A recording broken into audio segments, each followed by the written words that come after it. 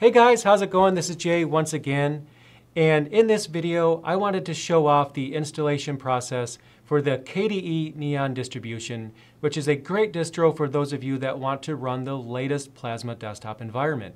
I'm going to go ahead and wipe out this machine right here in this video and show you the installation process. So let's go ahead and dive right in.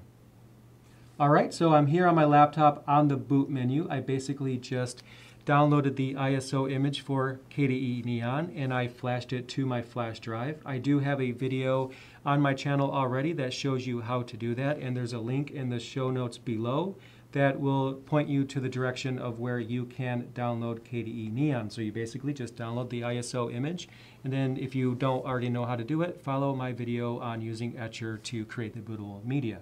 So I'm going to go ahead and choose this strangely named item right here, which is actually my generic flash drive. I'll go ahead and press enter, and let's go ahead and boot into KDE Neon.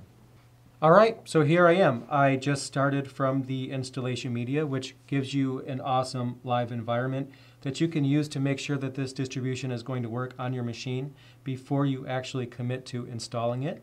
So what you can do is click over here to the wireless network icon if you click on that, you can go ahead and get a list of wireless networks. Just click on the one that's yours. After you connect to the internet, then you can basically make sure various things work, such as your audio and eh, other you know, pieces of hardware that you might have to confirm that this will work. And then once you confirm that everything seems to work just fine, you could basically click on this install neon right here. So I'll go ahead and do that. And center this here. So we're going to go ahead and start the installation process. So basically I'm going to assume that you don't mind wiping out your hard drive because that's what I'm going to do in this video. Um, if you're following along with me, just make sure that you have backed up everything that's important because this is a process that will erase everything. So I'm going to go ahead and click continue, just leaving the default of the English language here. I'll click continue. And again, I'm accepting the defaults. Of course, if yours, your keyboard is a different layout, then, you know, of course, select that here. But I'll click Continue. And then I get a selection of wireless networks here. I'm just going to go ahead and skip that for now and click Continue. Now at this point, you have an option to install third-party software for graphics, Wi-Fi hardware, and additional media formats. So what exactly does that mean? Well, basically, there's some drivers that the Linux community kind of, there's some stigma surrounding them because there might be licensing issues or something like that that the average person might not care about. And it just makes that optional. I recommend that most people go ahead and check this box because basically what that will do is if there's any hardware that require special drivers. It'll just go above and beyond to try to make those things work. I'm going to leave it unselected so I don't add unnecessary time because that will increase the length of the installation process because it has more to download. But that is something that I recommend that you consider. I'll click continue. And in my case, I'm going to use entire disk. That basically is going to wipe out everything. And I already have KDE Neon on this disk already, but I'm just basically wiping it out and installing fresh.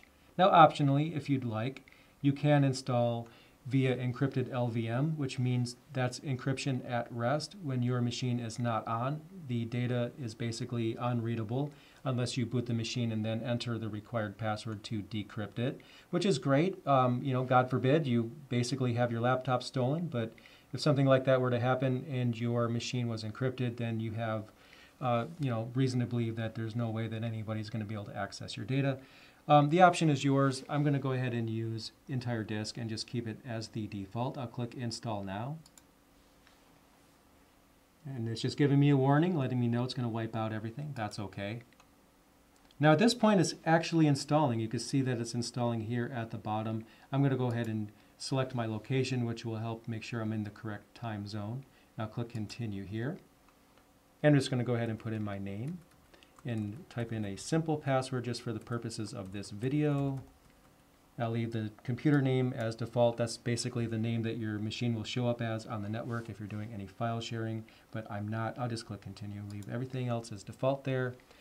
And then we basically have the installation proceeding here. We can see that it's actually going pretty quick. The installation process on this machine is not taking long at all. It is an SSD though, so there is that. So of course it's probably going to be faster than if you didn't have an SSD like me. So I'll go ahead and let this finish and fast forward through the rest.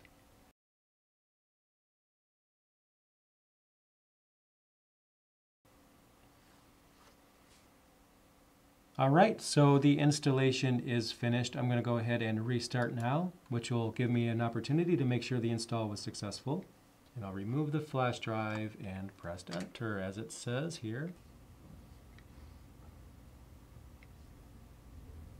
All right, so I'm here at the login screen, so if you're curious what that looks like, here it is. I'll go ahead and put in my password to log in.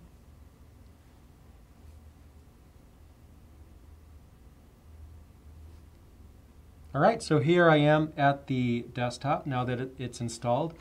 I can add additional applications, of course, after I connect to a wireless network. That's the first thing, but then after that, you can basically use the Discover, which is you know your software center here to install additional applications.